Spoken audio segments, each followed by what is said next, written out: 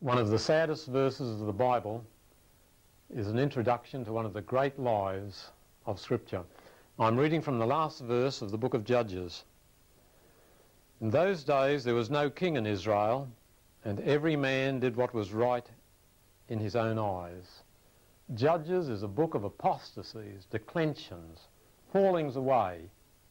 The judges were really saviours, redeemers. One by one they came because God loved his rebel people. There was one called Samson, who at last stands between two pillars and willingly dies that he might deliver his people. Pointing to the great Samson, because Samson is included among the heroes of faith by Hebrews 11 because of his penitence and because he actually did fulfill the prophecy made at his birth. He shall save his people. Judges chapter 13. They're the words that are quoted at the birth of Jesus. Call his name Jesus, for he'll save his people. Christ is the real Samson, who stood between two other uprights and willingly died, thus destroying his great enemy, the devil, and freeing his own people. But at the end of the book, after Saviour after Saviour has been used by God, the record is, but there was no king in Israel, and every man did that which was right in his own eyes. I want you to notice now the end of the next book. the next book is Ruth, and the last word is David. The reason for the book of Ruth is to tell us of the ancestors of King David. So at the end of Judges, there's no king. At the end of Ruth, the name of a man is introduced whose name is repeated over a thousand times in the Old Testament. And yet there's only one David. There's more than one Enoch. There's more than one Judas. Many characters in Scripture have their doubles or triplicates. Not so David. This man named a thousand times is only one man. Only one man bears his name in the Old Testament. He's mentioned 58 times in the New. He wrote over 90 Psalms and he's one of the best types of our Lord Jesus Christ, despite his follies. Every type is like a shadow, and every shadow is a distortion. Sometimes the types teach by way of contrast. Where David sinned, our Lord never sinned. But David was a good shepherd, a king, a prophet, was born at Bethlehem. His name means the beloved. In all these ways he points to the son of David born in the same city as David, like David to be a prophet and a king and the best of all good shepherds. So, Judges, there's no king. Ruth introduces the king, the last word. Then come the two books of Samuel that would have been better called the books of David. Because Samuel drops out after a few chapters. They're not two books about Samuel. They're two books about David. He first becomes prominent in 1 Samuel in chapter 16, where the Lord says to Samuel, How long will you grieve over Saul, seeing I've rejected him? Now please note, Saul was still king, but God had rejected him. It's possible for a church, an institution, or a person to be rejected of God and yet have their lives prolonged. Israel was rejected at the cross when they said, We'll not have this man to reign over us. We have no king but Caesar but they existed for another 40 years before the city fell. So God says, I've rejected Saul, but he's still king. Go and anoint David. so you know the story that when he sees the sons of Jesse, and among whom he's told the new king's to be found, when he sees Eliab, he thinks, this must be him. The Lord says, no.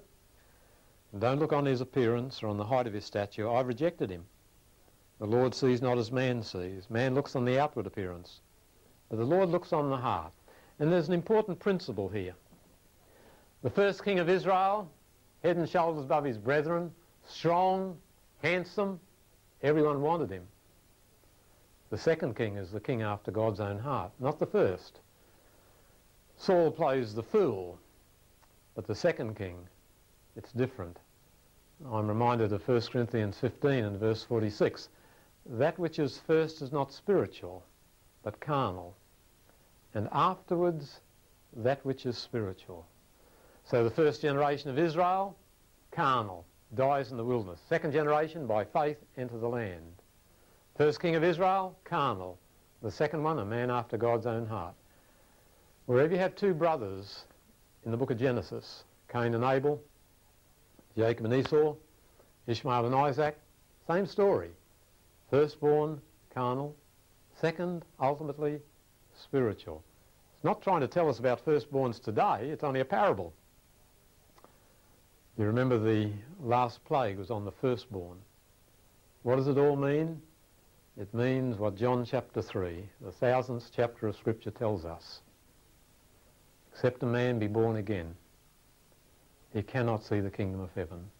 Born once, die twice. Born twice, die once, if at all. So when we look at the second king of Israel, he's telling us something about our own nature. Our own nature is like Saul. But we need to be born again. When we meet David, he's a shepherd, just a stripling, just a teenager. But notice where he becomes prominent. Look at the next chapter. It says, The Philistines gathered their armies for battle, and they were gathered at Socoh, which belongs to Judah. Saul and the men of Israel gathered and encamped in a valley, and drew up in line of battle against the Philistines. And the Philistines stood on the mountain on the one side, and Israel stood on the mountain on the other, with a valley between them. And there came out from the camp of the Philistines a champion named Goliath, whose height was six cubits and a span. Then it lists six items of armour. He stood and shouted, Why have you come out to draw up for battle? I'm a Philistine, your servants of Saul. Choose a man to fight with me. Here is a picture of good and evil, and instead of the two armies fully entangling and fighting, there's a representative from each. Where the scripture says that Goliath claims to be a champion, the Hebrew word means a mediator, an umpire. And here we have a picture of the world, the good and evil forces. Forces of Satan, like the Philistines, forces of God, like the Israelites. But there's a representative for each. And the representative of Israel in this story is King David, who looks so puny beside Goliath. Now, the previous chapter spoke of him being anointed. And you remember that after God anointed Jesus of Nazareth, the next thing, he was driven out into a wilderness to meet a giant. And that's exactly the order here. 1 Samuel 16, David, the beloved of Bethlehem, is anointed by the Spirit. The next chapter, he goes out to the wilderness to meet a giant. Notice what happens. Verse 16, for 40 days, and of course that's the same as Matthew 4, where after our Lord's anointing for 40 days he's tangling with the giant, the devil. The Philistine came, took his stand. Then it regresses a little, and we see the scene at Jesse's home, David's home. Jesse the father says to David his son, Take for your brothers an ephah of this parched grain, these ten loaves, carry them quickly to the camp. Take these ten cheeses to the commander of their thousand. See how your brothers fare and bring some token from them. Notice how it's very much like Genesis 37, where Joseph's father says, go down to your brethren, see how they're doing. And when he goes down there, the brethren hate him. What will happen to David when he goes down to his brethren? It tells us in verse 28, Eliab, his eldest brother, heard when David spoke to the men. His anger was kindled against David. Why have you come down? With whom have you left those few sheep in the wilderness? I know your presumption and the evil of your heart. You've come down to see the battle. And David said, What have I done? What have I done? It's just like the story of Genesis. David comes, he didn't have a mule, he carries all these things on his back. Like Joseph, he's wandering, wandering, trying to find these men. He finds them at last. To do them good, but they hate him. And they criticize him. And David gives a similar reply to Christ. Christ said, What evil have I done? Testify against me. That's what David said. What evil have I done? He goes to Saul and says he's going to fight Goliath. Saul tries to discourage him. David talks about what he's done before. He's fought with lions, and he's fought with bears, and God has used him. And so David is motivated to fight the giant. Number one, he feels that God's honour is at stake. Why should this uncircumcised giant defy the armies of the living God? Secondly, David loves his people. But there was a third motive. Saul had offered the king's daughter to whoever overcame the, the giant. God's name is to be vindicated, God's people are to be delivered, and David wants to marry the daughter. It was the same with Jesus. He came to vindicate God. What a slander on God that our universe in this particular planet is filled with evil. What a slander on God. God has to do something about it or he's not God. So he sent David to Bethlehem. The David we call Christ. Secondly, Christ came to save his people, like David. Thirdly, Christ came to marry his church, as David was to marry the daughter of the king. David refuses the armour that's offered him by Saul, takes simple armour, minds us of Christ in the wilderness. All he will use is stones out of the book of Scripture. It is written. David has simple weapons like that. And yet they're the best weapons. If he had a sword and got close to Goliath, Goliath would have finished him. With a sling, he doesn't have to get that close. God's weapons are the very best. And so he approaches the giant, and you know the words that they interchange, but I want you to notice the climax, verse 51. After he's catapulted a stone that went into the giant's forehead, so he fell, it says David ran and stood over the Philistine, took his sword, drew it out of its sheath, and killed him, and cut off his head with it. This is a marvellous picture. The cross of Calvary was an inverted sword, and the devil's hand was on it. The devil was the Goliath that was going to spear Christ, bruise his heel. But Christ took the devil's weapon of the cross. And by it, he beheaded the great giant. By death, says Scripture in Hebrews 2.14, he destroyed him that had the power of death and delivered those who all their lifetime were subject to bondage because of their fear of death. So Christ now holds up the cross. So just as Israel rejoiced and knew they'd been freed, that the great enemy was overcome, defeated. So now as we look to the cross, whatever the temptation, whatever the trial, and I confess I find it much easier to preach about than to practice, but all life is practicing. And we must learn to look at the uplifted cross and see in it the sign that all the things we fear they're all defeated. You remember when the disciples are in the ship and it seems they was going to plummet down? They're going to die, drown in Galilee. They suddenly see someone walking on the water, walking on the crests of the billows, as if to say, everything that threatens to come down on your head and destroy you, it's all under my feet. And if you and I can learn that, life will be so much better, so much easier, if we can understand that everything that threatens us, Christ has encountered. Every thorn his feet have trodden down. He's trodden every step of the way, and he has overcome all of the world, all of the flesh, and all of the devil. And his victory is for us, just as David's victory was for all Israel. There the Israelites were throwing their helmets in the air saying, we've won, we've won. David had won. And you and I can say, we've won.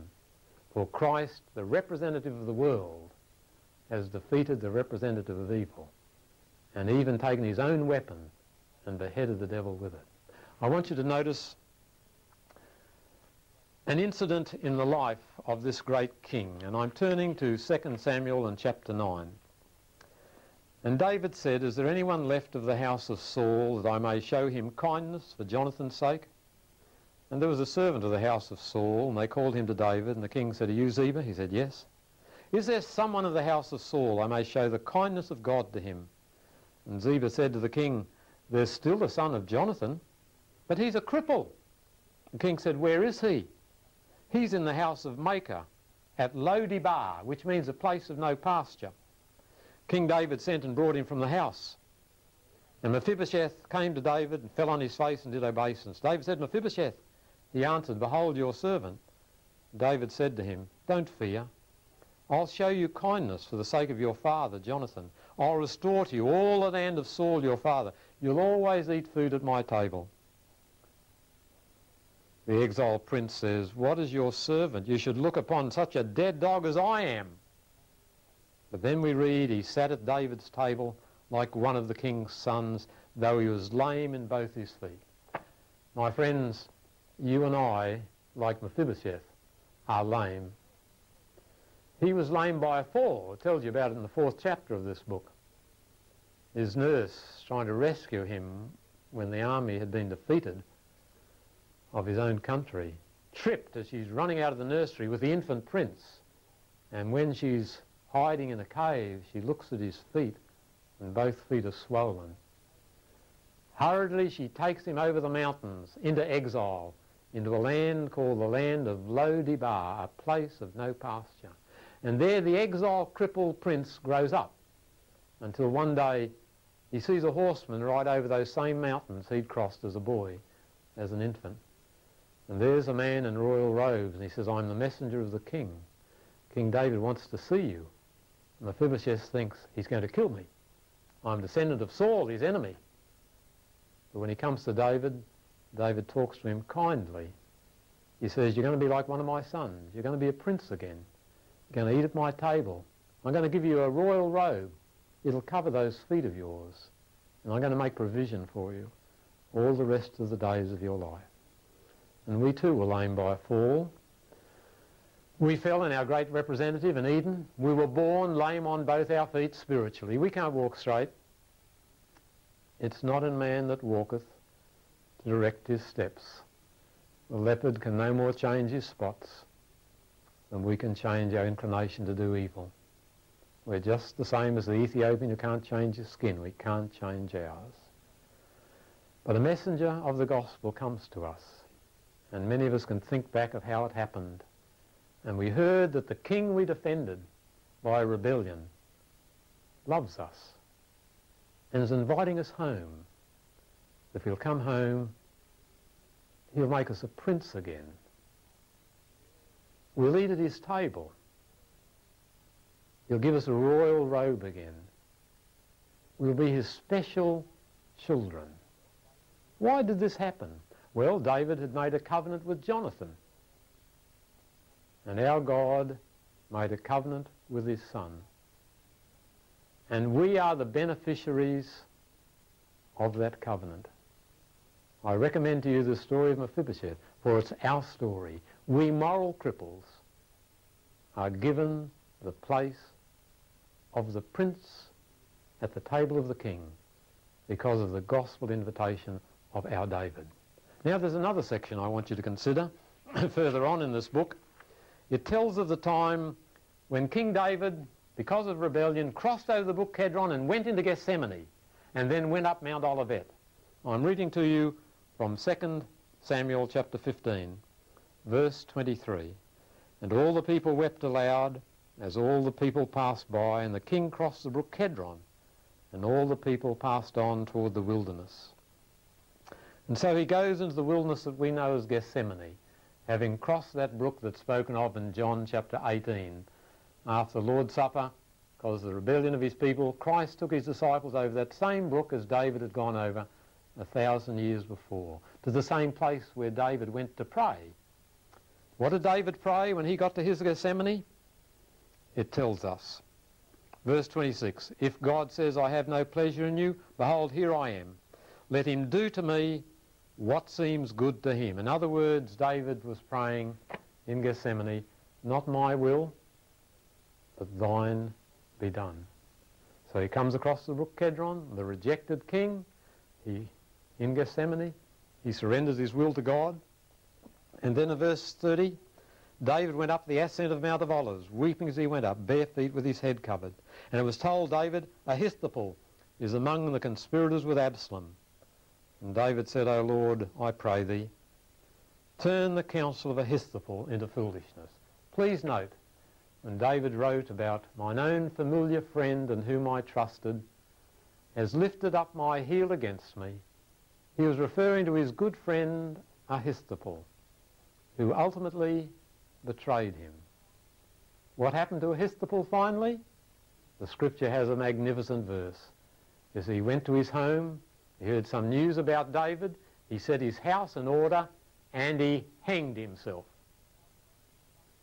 That's the typological basis of what happened between Jesus and Judas. Jesus washed the feet of Judas, pleading with him to return. The traitor hardened his heart. This Christ's own familiar friend betrays him. But later, when conscience is awoken, he goes back to the priests and throws them the money. I have sinned in that I have betrayed innocent blood. Seven times around the cross you have the statement about Christ being innocent. You have it from Pilate, this just man. You have it from Pilate's wife, have nothing to do with this just man. You have it from the centurion who watches the, the death. You have it from Judas. Seven times it's said by different characters, he's innocent. And Judas says he's innocent. And Ahithophel now realizes that he has betrayed his friend and his friend didn't deserve it. His friend was innocent. So Ahithophel suicides just like Judas. Or should we say Judas suicides, just like Ahithophel. Let me read you something else before we close this session. It tells us that in the great battle that took place, Absalom, that beautiful looking prince with a horrid evil heart, is with the armies to overthrow the one who gave him life. And as he leads his armies through the woods, it says in verse 9, Absalom chanced to meet the servants of David. Absalom was riding on his mule. The mule went under the thick branches of a great oak. His head caught fast to the oak. And please observe, it says he was left hanging between heaven and earth. This is a great story.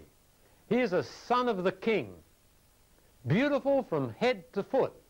It stresses that in the record. And only rarely does the Bible describe people's physical appearance. But this rebel's appearance is described because he's a symbol of Satan. Given life by God, beautiful from head to feet, but betrays the source of his life. But what is the destiny of Satan? Absalom causes life giver to be exiled, to go over the brook Kedron, to go into Gethsemane, to go weeping up Mount of Olives. But Absalom ultimately is caught by a tree and is left hanging between heaven and earth. And so Satan, who causes King Jesus to be dethroned from the hearts of his own people, is caught at the tree of the cross. You know, the trees in the Bible are often significant. When you first meet a tree, it's the place of the curse. Later on, angels come to visit Abraham, and he says, rest yourselves under the tree. Now the tree is a place of rest.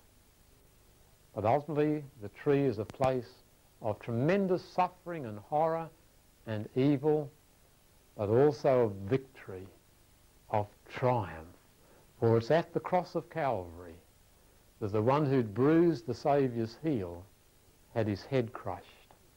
Satan suicided when he slew our Lord Jesus Christ.